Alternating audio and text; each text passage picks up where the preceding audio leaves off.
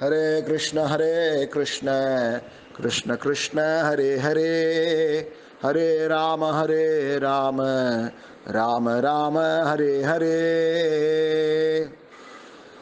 ॐ नमो भगवते वासुदेवाय।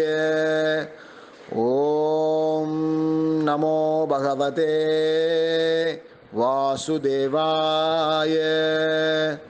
ॐ नमो भगवते वासुदेवाय नारायणं नमस्कृत्य नरं चैव नरोत्तमं देवीं सरस्वतीं व्यासं ततो जयमुदीरयेत् नष्टप्रायेषु अभद्रेषु नित्यं भागवतसेवया भगवतिर् उत्तमश्लोके भक्तिर्भवतिर्नैष्टिकी ஸ்ரீமத் பாகவதம் முதல் ஸ்கந்தம் நான்காவது அத்தியாயம் ஸ்லோகங்கள் பதிமூணு பதினாலு பதினஞ்சு பதினாறு பதினேழு பதினெட்டு மொத்தம் ஆறு ஸ்லோகங்கள் நாம் அன்றைக்கி பார்க்க போகிறோம் இந்த ஆறு ஸ்லோகங்கள் பார்க்குறதுக்கு முன்னாடி பொதுவாக சவுனக ரிஷி சூத கோஸ்வாமியை புகழ்ந்து பேசிக்கொண்டு வருகிறார். அவர் கேட்ட கேள்விகள்லாம் என்ன அப்படின்னா அதுக்கு ஒவ்வொன்றா இப்போ பதில் சொல்ல போகிறார் முதல்ல கேட்ட கேள்வி வியாசதேவர் எதுக்காக எந்த சூழ்நிலையில் எந்த உந்துல உந்துதல்கள்னால ஏன் பாகவதத்தை எழுதினார் அப்படின்னு ஒரு கேள்வி கேட்டார். அதுக்கப்புறம் சுகதேவ கோஸ்வாமி அவருடைய மகிமையை பற்றி சொன்னார். சுகதேவ கோஸ்வாமி அஸ்தினாபுரத்துக்கு வந்தப்போ எ- என்- என்ன மாதிரி அவரை மக்கள் எதிர்கொண்டார்கள்? இந்த பாகவதத்தை சுகதேவ கோஸ்வாமிக்கு அவர் உபதேசித்தார் அப்படின்னு சொன்னார். அப்புறம் பரீட்சித் மகாராஜன் எவ்வளோ ஒரு உயர்ந்த ஒரு அரசனாக இருக்கிறார் தூய்மையான ராஜனாக இருக்கிறார் நாட்டு மக்கள் நாட்டு மக்களுக்காகவே வாழ்ந்து வாழ்ந்து கொண்டிருக்கிறார் பற்றற்றவராக இருக்கிறார். இப்படி இருக்கக்கூடிய அவர் மக்களின் நன்மைக்காகவே வாழக்கூடிய அவர் எல்லோருடைய எல்லோருக்கும் சிறப்பை ஏற்படுத்தக்கூடிய அவர் தன்னுடைய குலத்திற்கே பெருமையை தேடித்தந்த மேலும் பெருமையை தேடித்தந்த அந்த பரிசுத்து மகாராஜன் எதற்காக இறக்கும் வரை உப உபவாசம் இருந்தார் என்ற கேள்வி கேட்கப்பட்டது.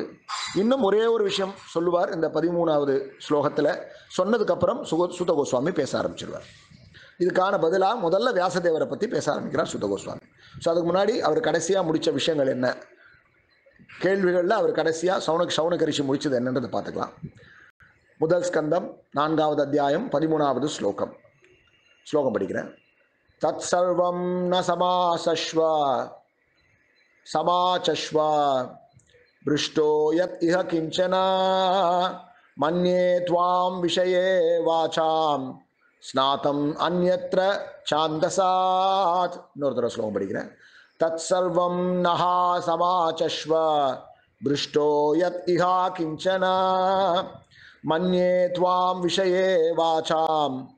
ஸ்நாதம் அந்யத்ர சாந்தசாத். இந்த ஸ்லோகத்துக்கு மொழிபெயர்ப்பும் பொருள் உரையும் வழங்கியவர் அகில உலக கிருஷ்ண பக்தி இயக்கத்தின் ஸ்தாபகாச்சாரியர் ஜெகத்குரு சில பிரபுபாதர் மொழிபெயர்ப்பு. வேதங்களில் உள்ள சில விஷயங்களை தவிர மற்றெல்லா விஷயங்களின் பொருளையும் அறிவதில் தாங்கள் நிபுணர் என்பதை நாங்கள் அறிவோம். ஆகவே உங்களிடம் இப்பொழுது நாங்கள் கேட்ட எல்லா கேள்விகளுக்கும் உரிய விடைகளை உங்களால் தெளிவாக விளக்கி கூற முடியும். வேதங்களில் உள்ள சில விஷயங்களை தவிர மற்ற எல்லா விஷயங்களின் பொருளையும் அறிவதில் தாங்கள் நிபுணர் என்பதை நாங்கள் அறிவோம் அப்படின்னா அது என்ன? வே வேதங்கள் உள்ள சில விஷயங்கள் அப்படின்னா வேதத்தோடைய விஷயத்த ரெண்டா பிரிக்கிறதா பிரிக்கிறாங்க ஆச்சாரியர்கள். வேதம் நான்கு வேதங்கள். இன்னொன்று புராணங்கள் இதிகாசங்கள் இப்போ இந்த வேதம் அப்படின்னு பார்த்தீங்கன்னா இது பிராமணர்கள் ஒரு வேத பாடசாலைக்கு போய் அந்த வேத மந்திரத்தை முறையாக காதில் காது வ- செவி வழியாக கேட்டு அந்த மந்திரத்தை மனப்பாடம் பண்ணி ஒப்பிப்பாங்க. அது பெருமான பெருமான அளவு வந்து கர்மகாண்டத்தை முக்கியத்துவம் கொடுப்பாங்க. எப்படி வந்து கர்மங்கள் ஒரு திருமணம் செய்வது எப்படி ஒரு பு- புண்ணியாஜலம் செய்வது எப்படி இப்படி மங்கள காரியம் செய்வது எப்படி? அதே மாதிரி ஒருவர் இறந்ததுக்கு அப்புறம் உள்ள காரியங்கள் செய்வது பித்- பித்ரு காரியங்கள் செய்வது எப்படி? இப்படி ரெண்டு காரியங்கள் செய்வதும் அந்த வேதத்தில் கர்மகாண்ட பகுதியில் கொடுக்கப்பட்டிருக்கும். அதனால் அந்த வேத மந்திரம் சொல்லி தான் அந்த வேத விஷயங்களை செய்யணும். ஸோ இது வந்து ஒரு ஒரு தரப்பு தரப்பு மக்கள் இந்த பிராம் ப- பிராமணர்களில் இந்த வேதம் படிக்கக்கூடியவர்கள் இந்த காரியத்தை நல்லா மனப்பாடம் பண்ணி அந்த விஷயங்களை சொல்லுவாங்க. ஆனால் சூத்த கோஸ்வாமி இருக்காரு. இப்போ நைமிஷாரண்யத்தில் சவணகரிஷி தலைமையாக கொண்ட இடத்துல சூத்த கோஸ்வாமி கிட்ட இந்த கேள்விகள் கேட்கப்படுது. சூத்த கோஸ்வாமி தான் அந்த பாவத்தை சொல்ல போறார். ஏன்னா இந்த ஸ்ரீமத் பாகவதத்தை சூத்த கோஸ்வாமி ஏற்கனவே பரீட்சித்து மகாராஜனுக்கு சுகதேவ கோஸ்வாமி சொல்லி கேட்டிருக்கார். இந்த சூத்த கோஸ்வாமிக்கு இந்த வேத மந்திரங்கள் உச்சாரணம் பண்றதுலாம் அவர் நாட்டம் கிடையாது. அதை அவர் தெரிஞ்சுக்கவும் இல்லை. ஏன்னா கர்மகாண்ட பகுதி கர்மங்கள் எப்படி செய்யணும் அப்படின்றது. அவருக்கு தெரிஞ்சதெல்லாம் புராணங்கள் இதிகாசங்கள். ஏன்னா வேதத்துடைய சாரம் தான் புராணம். புராணங்களில் தத்துவங்கள் அதிகமாக பேசப்படும். மற்ற இந்த வேத வேத மந்திரங்களை வந்து உச்சாரணம் பண்ணுறது வேத மந்திரங்களை வந்து மனசில் மனப்பாடம் பண்ணுறது அப்படின்றது வந்து அது ஒரு ஒரு வகை.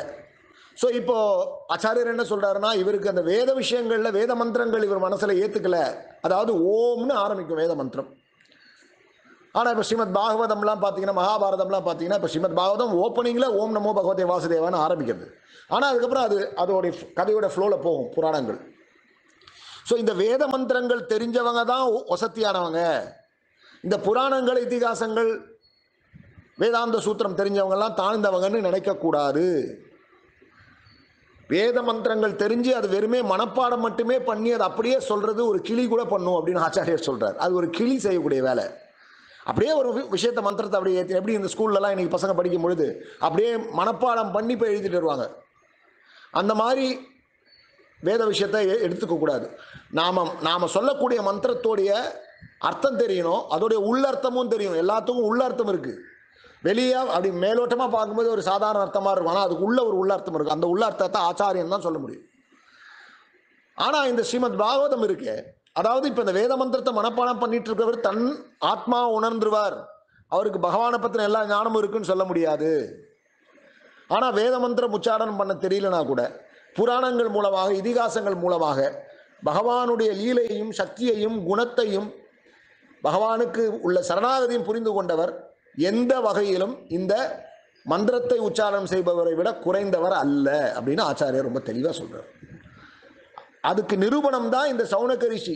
உதாரணத்துக்கு இந்த சௌனக ரிஷி அங்கே இருக்கக்கூடிய அந்த முனிகள் எல்லாம் வந்து பிராமணர்கள் எல்லாம் கூட வேத மந்திரங்கள் தெரிஞ்சவங்களாக இருந்திருப்பாங்க. பரீட்சித்து மகாராஜன் வந்து ஏழு நாட்கள் நான் என்னுடைய வாழ்க்கை முடிய போகுதுன்னு சொல்லும் பொழுது பிராமணர்கள் வேத மந்திரத்தை உச்சாரணம் பண்ணி அவருக்கு உபதேசம் கொடுக்கல. அங்க கொடுக்கப்பட்ட உபதேசம் சுகதேவ கோஸ்வாமியோட உபதேசம். அந்த சுகதேவ கோஸ்வாமி பிறப்பிலேயே ஆத்மஞானியா இருந்தவர். ஸோ அவர் அந்த பாகவதத்தை தான் பரீட்சித் மகாராஜனுக்கு கொடுத்தாரே தவிர கர்மகாண்ட பகுதி இல்லை. வேத மந்திரங்களை உச்சாரணம் செய்யல. அங்க அங்க தேவை என்ன தேவைப்பட்டது அப்படின்னு சொன்னா அங்க இந்த பகவானுடைய சரித்திரம் தான் தேவைப்பட்டது. பகவானுடைய கீர்த்தி புகழ் குணங்கள் லீலைகள் தான் தேவைப்பட்டது. அதே மாதிரி அடியன் நேற்று இந்த பாகவதம் படிச்சுட்டு இருக்கும்போது எட்டாவது ஸ்கந்தத்தில் இந்த வாமனருடைய விஷயங்கள் பேசப்படக்கூடிய இடத்துல ஒரு இடத்துல சொல்லப்படுது வேத மந்திரங்களோ இல்லை மற்ற விஷயங்களோ எங்கேயாவது தவறுகளாக சொல்கிறதுக்கு வாய்ப்பு இருக்குது அப்படி ஏதாவது தவறுகள் ஏற்பட்டுச்சுன்னா அது வந்து எதிர்மறையாக போகும். நாம் ஏற்கனவே பாகவதத்தில் இந்த விருத்ராசுரன் அப்படின்ற அந்த விருத்ராசுரனுடைய என்ன சொல்ல தோற்றம். சித்திரகேது மன்னர் சித்திரகேது பெரிய பக்தராக இருந்து ஒரு சின்னதாக பார்வதி தேவி கிட்ட அவர் அவச்சாரப்படுறார் அதனால் அவருக்கு வந்து அசுரனா பிறக்கணும்னு சொல்கிறாரு அவர் அதை வரமாக ஏற்றுக்கிறார் சிவபெருமான் சொல்கிறார் இதுதான் வைஷ்ணவனுடைய குணம் பற்றியா நீ சாபம் நினச்சி கொடுத்து அவர் வரமா ஏத்துக்கிட்டார் பாரு அப்படின்றாங்க. ஸோ அந்த சித்திரகேத்து விரு- விருத்ராசுரனா வரார் ஒரு யாக குண்டத்திலிருந்து. விஸ்வரூபருடைய தந்தை விஸ்வதா அவர் பேர் சம்திங் சிஷ்டா அந்த மாதிரி பேர் சரியா ஞாபகம் இல்லை எனக்கு. விஸ்வரூபருடைய அப்பா விஸ்வரூபர் இறந்ததுனால இந்திரனை கொள்றதுக்காக ஒரு யாகம் பண்ணிட்டார். அந்த யாகத்தில் இந்திரனுடைய எதிரியே முழு பலம் பெற்று வா அப்படின்னு சொல்றதுக்கு பதிலா எனது எதிரியே எனது எதிரியே எனது எதிரியான எனது எதிரியே முழு பலம் பெற்றுவான்ட்டார். எனது இந்திரி எனது எதிரியான இந்- இந்திரனே முழு பலம் பெற்றுவா. அந்த மாதிரி சம்திங் ஏதோ தவறா சொல்லிட்டார். ஸோ அதனால அவர் அந்த விருத்தாசுரன் வந்தோடனே கூட விருத்தாசுரனால் இந்திரன் அழிக்கப்படவில்லை.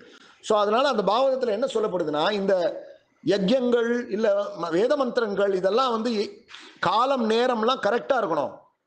ஏதாவது ஒன்று கால நேரம் இந்த மாதிரி சூழ்நிலைலாம் ஏதாவது தப்பி போச்சுன்னா அது வந்து எதிர்மறையான ஒரு காரியத்தை கொடுக்கும். ஆனால் நாம சங்கீர்த்தனம் இருக்கே பகவானுடைய ஹரிநாம சங்கீர்த்தனம். பகவானோட நாமத்தை சொல்றது. ஹரே கிருஷ்ண ஹரே கிருஷ்ண கிருஷ்ண கிருஷ்ண ஹரே ஹரே ராம் ஹரே ராம் ராம் ராம் ஹரே அதுக்கு காலமோ நேரமோ நியமமோ எதுவுமே இல்லை. எங்கே வேணால் எந்த நேரத்தில் வேணால் சொல்லலாம். எந்த விதமான எதிர்மறையும் கொடுக்காது. அது பகவான் மேலே பகவான் மேலே பக்தியும் சரணாகதியும் தான் கொடுக்கும். நன்மை தான் கொடுக்கும்னு பாகவதத்தில் சொல்லப்பட்டிருக்கு. ஸோ அந்த வகையில் இவர் எல்லாமே முழுக்க முழுக்க இந்த பரிசுத்த மகாராஜன் கடைசி நேரங்களில் பாகவதம் சொல்லப்பட்டது. அதனால இந்த வேத மந்திரம் உச்சாரணங்கள் அவருக்கு தெரியலனா கூட சூத்த கோஸ்வாமி மிகவும் சிறந்தவராக இருக்கிறார் ஆத்ம ஞானியாக இருக்கிறார் பகவத் ஞானியாக இருக்கிறார். அதனால தான் சௌனகிரிஷி சொல்றாங்க வேதங்களில் உள்ள சில விஷயங்களை தவிர அவ்வளோதான் வெறும் கர்மகாண்டம் அவ்வளோதான் ஏன்னா அது அவருக்கு தேவைப்படலை. அவர் அதை எடுத்துக்கல அவ்வளோதான் வேதங்களில் உள்ள சில விஷயங்களை தவிர மற்ற எல்லா விஷயங்களின் பொருளையும் அறிவதில் தாங்கள் நிபுணர் என்பதை நாங்கள் அறிவோம்.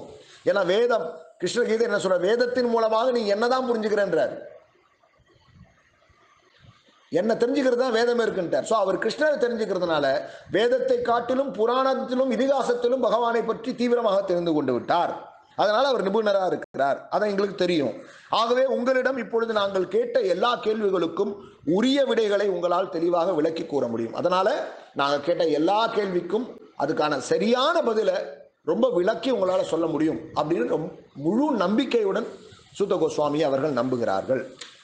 இப்போ அடுத்து நம்ம பதினாறாவது ஸ்லோகம் பார்க்கலாம். இப்போ சூத்த கோஸ்வாமி பேசுகிறார். சூத உவாச்ச துவாபரே சமனுப்பிராப்தே திருத்தீயே யுகபர்யயே ஜாதः பராசராத் யோகி வாசவ்யாம் கலையா ஹரே ஸ்லோகத்துக்கு மொழிபெயர்ப்பும் பொருள் பக்திவேதாந்த சுவாமி ஜெகத்குரு ஸ்ல பிரபுபாதர் மொழிபெயர்ப்பு. சூத கோஸ்வாமி கூறினார் இரண்டாவது யுகமும் மூன்றாவது யுகமும் முன்னும் பின்னுமாக தோன்றிய வேளையில் வசுவின் புதல்வியாகிய சத்தியவதியின் கருவில் பராசரரின் புதல்வராக மாமுனிவர் வியாசதேவர் அவதரித்தார். இந்த ஸ்லோகம் மூலமாக எனக்கு இன்னைக்கு தெரிஞ்சது என்னன்னா பொதுவாகவே யுகங்கள் அப்படின்னா கிருத்த யுகம் திரேதா யுகம் துவாபர யுகம் கலி. இதுதான் எல்லாரும் சொல்லுவாங்க. கிருத்த திரேத துவாபர கலி. இதுதான் சொல்லுவார். எல்லாருமே சொல்லுவாங்க. ஏன்னா நம்மளுடைய அனுபவம் அதுதான். இப்போ நாம கலியுகத்தில் இருக்கோம். இதுக்கு முன்னாடி துவாபர யுகம் வந்திருக்கு அதுக்கு முன்னாடி திரேதா யுகம் வந்திருக்கு அதுக்கு முன்னாடி சத்தியகம் வந்திருக்கு. ஆனா பாகவதம் என்ன சொல்லுதுன்னா ஆர்டர் அது கிடையாது. ஆர்டர் வந்து சத்தியுகம் அதாவது கிருத்த யுகம் துவாபர யுகம் திரேதா யுகம் கலியுகம். இதுதான் ஆர்டர்னு சொல்லுது. இந்த ஆர்டர் ஒரு காலகட்டத்தில் மாறிச்சு. அதாவது இருபத்தெட்டாவது யுகம் இந்த நான்கு யுகங்கள் கிருத்த யுகம் திரேதா யுகம் துவாபர யுகம் கலியுகம் இந்த நாலு யுகம் இருக்கு. இந்த நாலு யுகம் வந்து அதாவது கிருத்த யுகம் வந்து உதாரணத்துக்கு நாம் நம்ம அந்த ஆக்சுவல் ஆர்டர்லேயே போகலாம் கிருத்த யுகம் துவாபர யுகம் திரேதா யுகம் கலியுகம் இப்படி கலியுகம் முடிஞ்சோன்னா மறுபடியும் கிருத்த யுகம் துவாபர யுகம் திரேதாயுகம் கலியுகம். திருப்பியும் கிருத்த யுகம் துவாபர யுகம் திரேதாயுகம் கலியுகம். இந்த மாதிரி இருபத்தெட்டாவது சர்க்கிள் வரும்பொழுது இந்த இருபத்தெட்டாவது தடவை இந்த நாலு யுகங்கள் சுழற்சி வரும்பொழுது அந்த இருபத்தெட்டாவது தடவையில துவாபர யுகம் மூணாவதா வருமா திரேதாயுகம் ரெண்டாவதா வருமா? சரி இப்படி அந்த மிக்ஸ் ஆகுது பாருங்க அந்த ஆர்டர் மாறும். அது இருபத்தெட்டாவது யுகத்துல. அந்த இருபத்தெட்டு இருபத்தெட்டாவது இருபத்தெட்டாவது யுகத்துல யாரு இருப்பான்னா வைவஸ்வத்த மனு தான் மனுவா இருப்பார் நாம இப்ப இருக்கக்கூடிய காலம். வைவஸ்வத்த மனு தான் இப்ப மனு. அந்த வைவஸ்வத்த மனு இருபத்தெட்டாவது யுகத்துல ஒவ்வொரு யுகத்துக்கு ஒவ்வொரு வியாசதேவர் ஒவ்வொரு ஒவ்வொரு சர்க்கிளுக்கு ஒவ்வொரு வியாசதேவர் இருக்கார். ஸோ இதில் இந்த இருபத்தெட்டாவது யுகத்தில் இருபத் இருபத்தெட்டாவது சர்க்கிள் வரக்கூடிய அந்த சதுர்யுகத்தில் திரேதாயுகம் ரெண்டாவது வந்துடும் துவாபர யுகம் மூணாவது போயிடும். அந்த மாதிரி திரேதாயுகம் ரெண்டாவது மூன்றாவதாக இருக்க வேண்டிய திரேதாயுகம் ரெண்டாவதாகவும் இரண்டாவதாக இருக்க வேண்டிய துவாபரயுகம் மூன்றாவதாகவும் வரக்கூடிய காலகட்டத்தில் அதான் சூத்த கோஸ்வாமி கூறினார் இரண்டாவது யுகமும் மூன்றாவது யுகமும் முன்னும் பின்னுமாக தோன்றிய வேளையில் இந்த மாதிரி முன்ன பின்ன தோன்றிய வேலை இது. சில நேரங்கள் நடக்கும் நடக்கும் பொதுவாக இருபத்தெட்டாவது யுகத்தில் நடக்கும் ஒவ்வொரு சர்க்கிள்லையும் பிரம்மாவுடைய ஒரு நாள் அப்படின்றது ஆயிரம் திவ்யயுகங்கள் இந்த மாதிரி ஆயிரம் சர்க்கிள் இப்போ இருபத்தெட்டாவது சர்க்கிளை பற்றி தான் நம்ம பேசுகிறோம் இந்த மாதிரி ஆயிரம் சர்க்கிள் இருக்குது பிரம்மாவுக்கு. அந்த ஒவ்வொரு சர்க்கிளில் அது அ- அதான் ஓ அந்த ஆயிரம் சர்க்கிளில் இருபத்தெட்டாவது சர்க்கிளில் கிருஷ்ணர் வருவார். அந்த கிருஷ்ணர் அவதரி அவ வியாசதேவர் வருவார். இருபத்தெட்டாவது சர்க்கிளில் இந்த கிருஷ்ண துவைபாயன வியாசர் வருவார். அவர் தான் கிருஷ்ணருடைய அம்சம். மற்ற வியாசர்லாம் ஜீவாத்மா ஒரு வியாசர்னு ஒரு பேர் கொடுக்கப்படும். ஆனால் இந்த கிருஷ்ண துவைபாயன வியாசர் பகவானுடைய அம்சம். அவர் இருபத்தெட்டாவது யுகத்தில் வருவார். இருபத்தெட்டாவது சர்க்கிளில் அந்த சர்க்கிளில் முன்னும் பின்னும் இருக்கும். அதாவது துவாபர யுகம் மூணாவதாகவும் ரெண்டாவது யுகம் திரேதா யுகமாகும் அந்த துவாபர யுகத்தில் கிருஷ்ணர் தோன்றுவார். அந்த கலியுகத்தில் அந்த கிருஷ்ணத்தோனுடைய துவாபர அடுத்த கலியுகத்தில் சைத்தன்ய மகாபிரபு தோன்றுவார். ஸோ இதுதான் சூத்த கோஸ்வாமி கூறினார் இரண்டாவது யுகமும் மூன்றாவது யுகமும் முன்னும் பின்னுமாக தோன்றிய வேளையில் வசுவின் புதல்வியாகிய சத்தியவதியின் கருவில் அவர் ஆக்சுவலாக ஒரு மீன்காரர். வசு. அவருடைய மகள் வந்து சத்தியவதி மீன் வியாபாரம் பண்ணக்கூடியவங்க. சத்தியவதியின் கருவில் பராசரரின் புதல்வராக மாமுனிவர் வியாசதேவர் அவதரித்தார். இதுல இன்னொரு விஷயம் என்ன அப்படின்னா எந்த எந்த இடத்துல அவதரிக்கிறார் அப்படின்னா இப்போ இந்த யுகங்கள் வந்து ரெண்டு சொன்னோம் இல்லையா? அதாவது ரெண்டு மாறுதுன்னு. கிருத்தயுகம் துவாபர யுகம் திரேதாயுகம் கலியுகம். இதுதான் ஆக்சுவல் ஆர்டர் ஆனால் இப்போ நாம் இருக்கக்கூடிய நேரத்தில் இருபத்தெட்டாவது அந்த சர்க்கிளில் என்னாச்சு? துவாபர யுகம் மூணாவதாக போயிடுச்சு திரேதாயுகம் ரெண்டாவதாக வந்துருச்சு. இதில் துவாபர யுகத்தில் பிறந்தார். இது ஒன்று இன்னொரு கணக்கு எடுத்திருக்கீங்கன்னா ஒவ்வொரு யுகத்தையும் மூணாக பிரிக்கிறாங்க. ஒவ்வொரு யுகத்தையும். இப்போ கலியுகம்னா மூணா இருக்கும். கலியுகத்தோட ஆரம்பம் கலியுகத்தோட நடு கலியுகத்தோட முடிவு. இப்படி இப்படி மூணா பிரிப்பாங்க யுகங்களை. மூன்று வகையில பிரிக்கிறாங்க. அதுக்கு மூணு பேர்கள் இருக்கு. அதுல இந்த துவாபர யுகத்துல அதே மாதிரி மூணு பிரிவு இருக்கு. முதல் ஆரம்பம் நடு இறுதி. இதுல மூணாவது பிரிவுல தான் பிறக்கிறார் வியாசதேவர். யுகத்தை மூணா பிரிக்கும் போது அந்த மூணாவது பிரிவில் இவர் அவதரிக்கிறார். யாருக்கு? மகனா பிறக்கிறார். வசுவின் புதல்வியாக சத்தி சத்தியவதையின் கருவில் பராசரரின் புதல்வராக. பராசரர் அவருடைய தந்தை சத்தியவதி அவருடைய தாய். பகவானுடைய அம்சமான மாமுனிவர் வியாசதேவர் அவதரித்தார். அதில் ஒரு சரித்திரம் இருக்குது சத்தியவதி வந்து மீன்காரியா இருக்கிறதுனால அவங்களுக்கு உடம்புல வந்து அந்த மீன் ஸ்மெல் இருந்துகிட்டே இருக்கும். ஸோ அப்போ வியா அவருடைய வியாசதேவர் தாப்பன பராசுரர் வியாசதேவர் அவதரிக்கணுன்றதுக்காகவே அதாவது ஒரு ஒரு மீன்காரியின் கர்ப்பத்திலிருந்து வேதத்தையே எழுதக்கூடிய ஒரு பிராமணர் வருகிறார். அதான் அங்கே விசேஷம். ஏன்னா பராசுர பிராமணராக இருக்கிறதுனால அவர் மூலமாக வரக்கூடிய அவருடைய சந்ததியான வியாசதேவரும் பிராமணர். இருந்தாலும் ஒரு மீன்காரியின் கர்ப்ப கர்ப்பத்தின் மூலமாக வருகிறார். ஸோ அந்த உடம்புல இருக்கக்கூடிய அந்த மீன் வாசனையை போக்குறதுக்காக பராசுரர் சத்தியவதியோட சேர்ந்தார். அப்படி சேரும் பொழுது வியாசதேவர் பிறந்தார். சத்தியவதைக்கு அந்த உடம்பில் இருந்த அந்த மீன் மீனுடைய துர்நாற்றம் போய்விட்டது. இது ஒரு சரித்திர மகாபாரதத்தில் இருக்கு. ஸோ அந்த வகையில் இந்த வியாசதேவர்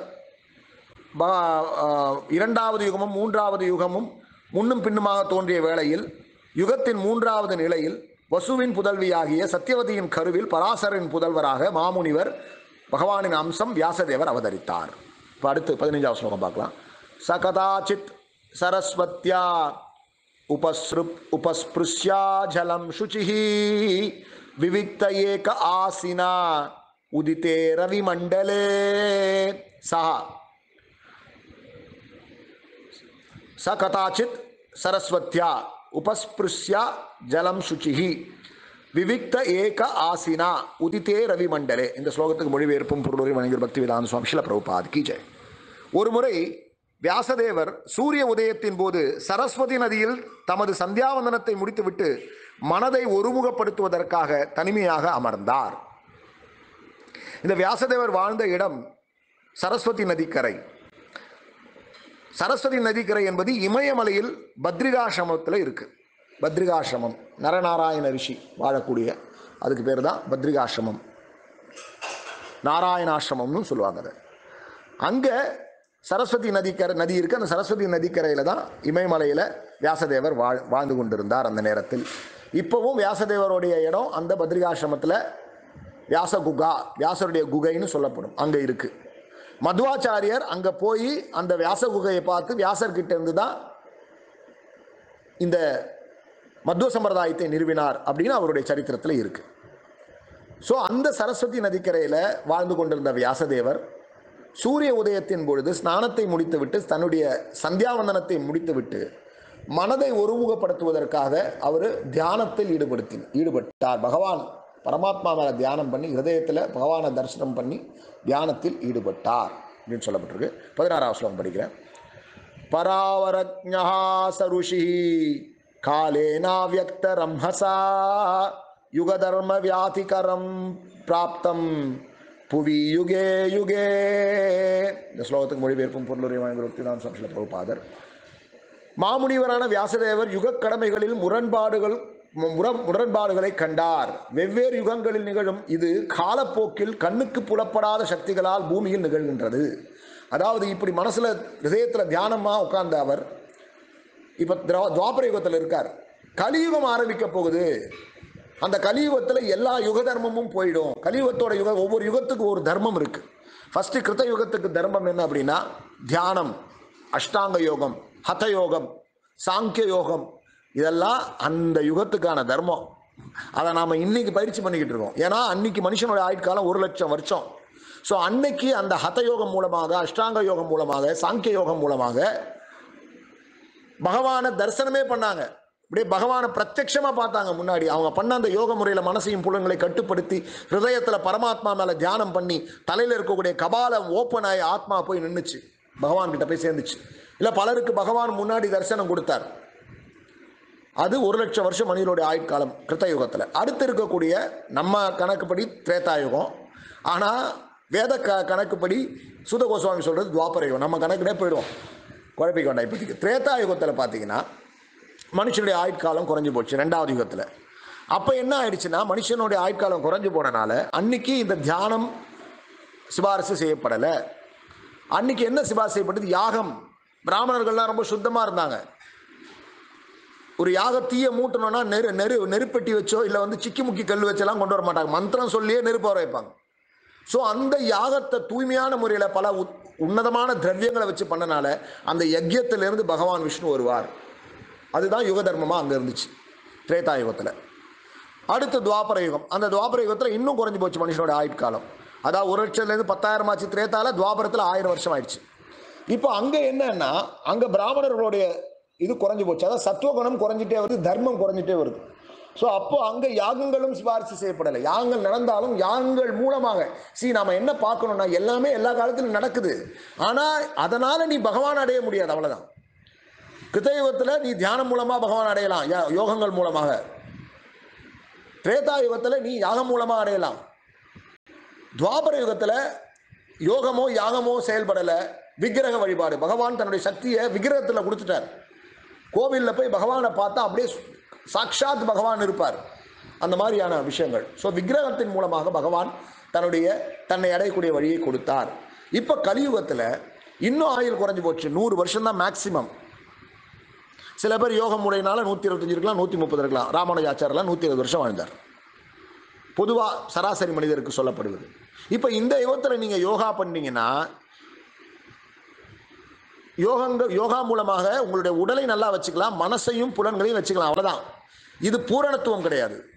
யோகா வந்து ஒரு உடலுக்கு ந- நல்லது நல்லது கொடுக்கும் மனசை கட்டுப்படுத்தும் உடலுக்கு நல்ல வலிமையை கொடுக்கும். இது ரெண்டுத்தையும் வச்சு நீங்கள் அடுத்து பண்ண வேண்டிய விஷயம் என்னவா இருக்கணும் அப்படின்னு சொன்னால் ஹரிநாம சங்கீர்த்தனம். ஏன்னா கலியுகத்தில் ஹரிநாம சங்கீர்த்தனம் தான் பகவான் அடையிறதுக்கான ஒரே வழி. ஹரேர் நாம ஹரேர் நாம ஹரேர் நாமைவ கேவலம் கலவு நாஸ்தெய்வ நாஸ்தெய்வ நாஸ்தெய்வ கதிரண்யதா? ஹரிநாமத்தை சொல்றதை தவிர இந்த கலியுகத்தில் வேற கதி இல்லை வேற கதி இல்லை வேற கதி இல்லை. அதனால யோகம் யோகா பண்ணாலும் சரி பிராணாயாமங்கள் பண்ணாலும் சரி கிரியா பண்ணாலும் சரி உன்னுடைய உடலையும் மனதையும் புலன்களையும் கட்டுப்படுத்தி வைத்துக்கொண்டு அடுத்து நீ செய்ய வேண்டியது ஹரே கிருஷ்ண ஹரே கிருஷ்ண கிருஷ்ண கிருஷ்ண ஹரே ஹரே ஹரே ராம ஹரே ராம ராம ராம ஹரே ஹரே. இந்த ஜப தியானத்தை செய்ய வேண்டும். ஜபா மெடிடேஷன் அது பேர். இதை பண்ணணும். பகவானுக்கு பூஜை பண்ணணும். பகவானுக்கு நைவேத்தியம் பண்ண பிரசாதத்தை சாப்பிடணும். தான் யுக தர்மம் நீ யாகம் பண்ணாலும் இதை பண்ணணும். யஜ்யம் பண்ணாலும் இதை பண்ணணும். கோவிலுக்கு போய் விக்கிர வழிபாடு பண்ணாலும் இதை பண்ணணும். ஸோ இதுதான் பிரதானம். ஆனால் இந்த யுக தர்மமான ஹரே ஹரிநாம சங்கீர்த்தனம் இந்த கலியுகத்தில் முழுமையாக பின்பற்றப்படாது அப்படின்றத அவர் கண்டார். வர்ணாசிரம தர்மம் சரியாக நடக்காது. அந்த பிராமண சத்திரி வைஷன் சூத்திரனோ இல்லை மற்ற தர்மங்கள் அந்த பிரம்மச்சாரி கிரகஸ்தன் வானப்பிரஸ்தன் சன்னியாசியோ இந்த இந்த வானப்பிரஸ்தம் சரியாக நடக்காது. அப்படின்ற அந்த விஷயத்தை அவர் அவர் கணக்கு தனக்குள்ள தெரிஞ்சது அவருக்கு மாமுனிவரான வியாசதேவர் யுக கடமைகளின் முரண்பாடுகளை கண்டார். வெவ்வேறு யுகங்களில் நிகழும் இது காலப்போக்கில் கண்ணுக்கு புலப்படாத சக்திகளால் பூமியில் நிகழ் நிகழ்கின்றது.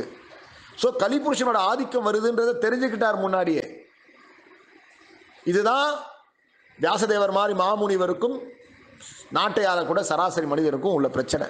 வியாசதேவர்லாம் பின்னாடி துவாபர யுகத்திலே கலியுகத்தில் வரக்கூடிய பிரச்சனையை புரிஞ்சுக்கிட்டார். அதுக்கு ஒரு ஒரு சொல்யூஷனே அவர் செய்ய போகிறார் ஆனால் இன்னைக்கு இருக்கக்கூடிய நாட்டை ஆளக்கூடியவர்களோ இதுக்கு முன்னாடி இருந்தவங்களோ அவங்களால இன்னைக்கு என்ன ஒரு ரெண்டு மணி நேரத்துக்கு முன்னாடி ரெண்டு மணி நேரத்துக்கு அப்புறம் என்ன நடக்கும்னே தெரியாது. எங்கே வந்து ஃபியூச்சரில் நடக்கிறத கண்டுபிடிக்கிறது. இதுதான் வித்தியாசம். அதனால தான் சத்திரியர்கள் என்ன பண்ணாங்க? பண்டைய காலங்களில் சத்திரியர்கள் என்ன பண்ண ராஜாக்கள் காலத்தில் ராஜா நாட்டை ஆண்ட ராஜாக்கள் அவங்க சொந்தமாக இந்த டிசிஷன் எடுக்க மாட்டாங்க. அவங்க ரிஷிகளையும் முனிகளையும் கூப்பிட்டு அந்த ஆத்ம ஞானிகளை வருங்காலத்தில் நடக்க போகிற விஷயத்தை கேட்டு அவங்க அறிவுரைப்படி ஆட்சியை செய்வார்கள். அப்போ என்ன ஆகும்? இவங்க ரொம்ப தெளிவாக இந்த ஆன்மீகத்தின் மூலமாக விஷயத்தை நாட்டை ஆண்டார்கள். இன்னைக்கு இருக்கக்கூடிய அரசியல்வாதிகள் சயின்டிஸ்டை நம்பி வாழ்க்கை வாழ்கிறார்கள். சயின்ஸை நம்பி வாழ்கிறாங்க சயின்ஸ் அறிவியல் தான் இவங்களுக்கு நம்பிக்கை. ஆன்மீகம் இல்லை. ராஜாக்கள்லாம் ஆன்மீகத்தை நம்பி வாழ்ந்தாங்க. அதனால முன்னாடி என்ன நடக்கும் பின்னாடி என்ன நடக்கும் இப்போ என்ன நடக்கும்னு தெரிஞ்சு மக்களுடைய பிரச்சனையை தீர்த்தாங்க. இன்னைக்கு இருக்கக்கூடிய மன்னர்கள் எல்லாம் ஆன்மீகத்தை விட்டுவிட்டு அறிவியலை மட்டும் நம்பி ஒரு சயின்டிஸ்டையும் டாக்டரை மட்டும் நம்பி வாழறனால இவங்களால ரெண்டு மணி நேரத்துக்கு அப்புறம் வரக்கூடிய பிரச்சனையை கூட தீர்க்க முடியல. வாழ்க்கையில் பிரபுபாதர் சொல்ல போறார் அடுத்த இதில். எல்லா விதமான பிரச்சனையும் வரும். அதில் நோய் மிகப்பெரிய ப்ராப்ளமாக இருக்கும்னு பிரபுபாதரே சொல்லிட்டு போயிட்டார். ஒரு நைன்டீன் சிக்ஸ்டீஸில் நோய் நொடிகளை தீர்க்க முடியாது நம்மளுடைய அரசியல் தலைவர்களால்.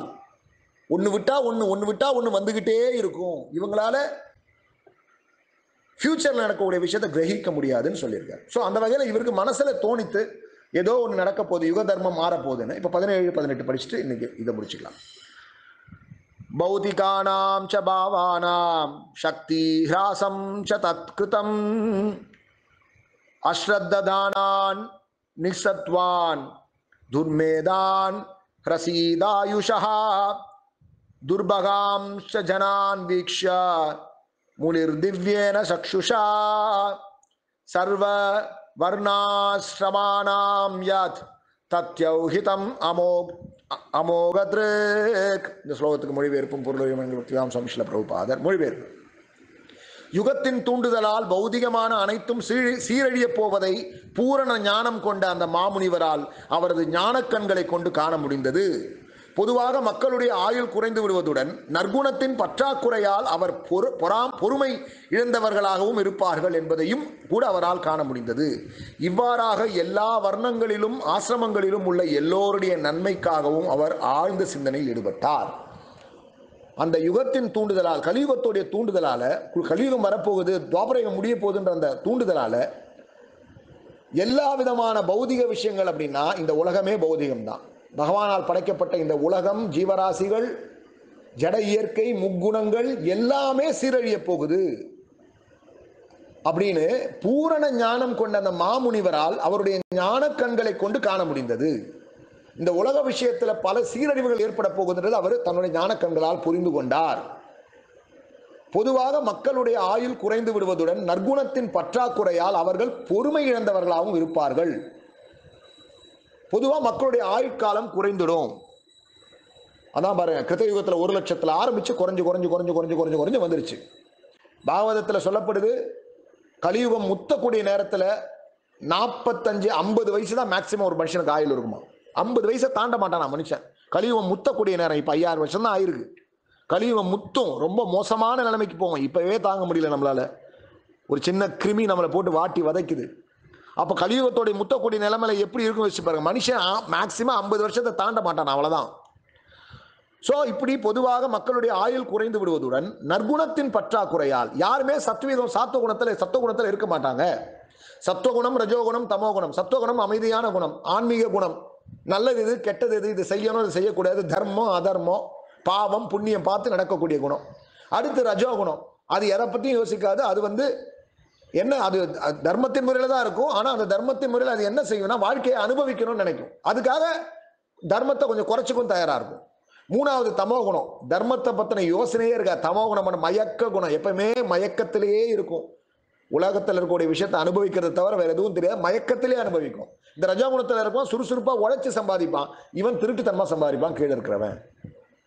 ஸோ இந்த மாதிரி அந்த சத்துவகுணத்தில் யாரும் இல்லாததுனால மக்களுக்கு பொறுமை இழந்து விட்டார்கள். பொறுமையே கிடையாது வாழ்க்கையில்.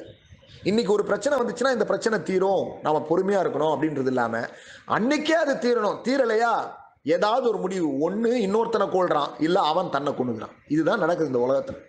ஒரு பிரச்சனை வருது ஒரு கஷ்டம் வருது ஒரு துன்பம் வருதுன்னா அந்த துன்பத்தை பொறுமையாக இருந்து அது போகின்ற போக்கில் அதை சரி பண்றது இல்லை இல்ல பகவானுக்கு முழுசா சரணாகதி அடைஞ்சு பகவான் see, பக்தியில முன்னுக்கு வரணும்னாலும் பொறுமை வேணும்.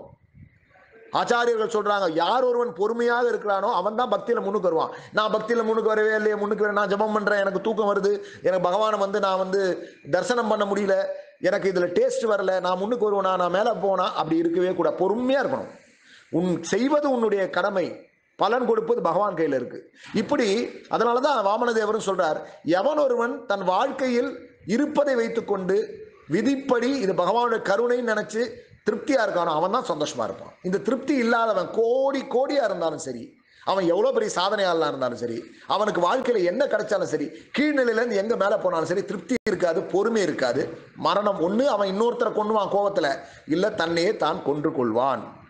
இந்த மாதிரி கலியுகத்தில் ஆயுட்காலங்கள் குறைஞ்சிருக்கிறனால சத்துவகுணத்தில் யாரும் இல்லாதனால பொறுமை இழந்தவர்களாக இரு- இருக்கிற இருப்பார்கள் என்பதையும் கூட அவரால் காண முடியும். இதையும் பார்த்தார். யுகத்துடைய பிரச்சனையும் பார்த்தார் யுகத்துடைய சீரழிவை பார்த்தார் மக்களுடைய ஆயுள் குறைவை பார்த்தார் மக்களுடைய மனம் சீரழிந்து போவதை பார்த்தார் குணங்கள் தமோ குணத்திற்கு ஆ- ஆட்பட்டு இருப்பதை கண்டார். இவ்வாறாக எல்லா வர்ணங்களிலும் ஆசிரமங்களிலும் உள்ள எல்லோருடைய நன்மைக்காகவும் அதனால அவர் பிராமணர்களோட நன்மைக்காக மட்டும் பார்க்கல பிராமணன் சத்திரியன் வைஷ்யன் சூத்ரன். இப்படி சொன்னால் என்னமோ யாரையோ சொல்கிற மாதிரி இருக்கும். நம்ம சாதாரணமாக சொல்லுவோம். இன்னைக்கு இருக்கக்கூடிய படித்தவர்கள் சயின்டிஸ்ட்டு மருத்துவர்கள் இன்னும் ஐபிஎஸ்ஸு நல்லா இருக்காங்களோ இது படித்தவங்க அவங்களுக்கு அவங்களுக்காகவும் அடுத்து நாட்டை ஆளக்கூடியவங்க இந்த அரசியல்வாதிகளுக்காகவும் ஆஃபீஸர்ஸ் இந்த கவர்மெண்ட் ஆஃபீஸர்ஸ் நாட்டை பரிமாறிக்கக்கூடிய அதிகாரிகளுக்காகவும் மூணாவது வைஷ்யாஸ் இன்னைக்கு இருக்கக்கூடிய பிஸ்னஸ் கிளாஸ் பீப்புளுக்காகவும் தெருவில் வந்து குண்டூசி வைக்கிறவன்லேருந்து தங்க வைக்கிற வரைக்கும் எல்லா வியாபாரிகளுக்காகவும் விவசாயம் பண்ணுறவங்களுக்காகவும் பசு பராமரிப்பு செய்கிறவங்களுக்காகவும் கடைசியாக இருக்கக்கூடிய லேபர் எதை என்னெல்லாம் தொழிற்சாலை இருக்கோ என்னெல்லாம் இண்டஸ்ட்ரீஸ் இருக்கோ எல்லா இண்டஸ்ட்ரியிலும் தொழிலை செய்யக்கூடிய தொழிலாளிகளுக்காகவும். இப்படி சொன்னால் நமக்கு புரியும். பிராமணன் சத்திரியன் வைஷன் சூத்திரனா எங்கேயோ யாரையோ சொல்கிற மாதிரி இருக்கும் இந்த எல்லாருமே கிட்டத்தட்ட உலகத்தில் இருக்கக்கூடிய எல்லா மக்களுடைய நன்மையை மனசில் நினச்சி அவர் முழு தியானத்தில் ஆழ்ந்தார். ஆழ்ந்த சிந்தனைக்கு போனார். என்ன செஞ்சா இந்த பிரச்சனை தீரும் அப்படின்னு ஒரு ஆழ்ந்த சிந்தனை. நம்ம என்ன சொல்யூஷன் கொடுத்தா மக்கள் நான் கொடுக்குற சொல்யூஷனை கரெக்டாக கடைபிடிச்சாங்கன்னா இந்த பிரச்சனையிலேருந்து தப்பிப்பாங்க அப்படின்னு ஆழ்ந்து சிந்திச்சார். இப்போ என்ன சொல்யூஷன் கொடுக்க போறார் என்னெல்லாம் செய்ய போறான்றதை நம்ம நாளைக்கு பார்க்கலாம். இன்றைய நாள் நல்ல ஒரு நாளாக அமையணும் ஹரே கிருஷ்ண மகாமந்திரத்தை சொல்லி இன்றைய நாளை தூங்கலாம் ஹரே கிருஷ்ண ஹரே கிருஷ்ண கிருஷ்ண கிருஷ்ண ஹரே ஹரே ஹரே ராம ஹரே ராம ராம ராம ஹரே ஹரே ग्रंथरा श्रीमद भागवतम की जय जगदगुरु शिल प्रभुपाद की जय गुरुदेव की जय सर्वम श्री कृष्णात्मनमस्तु ओम तत्सत